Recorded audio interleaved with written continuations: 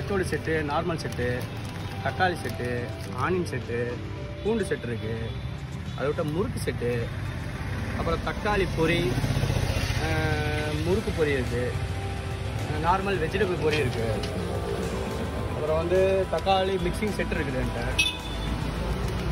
அப்புறம் நொறுக்கல் செட் இருக்குது தனியாக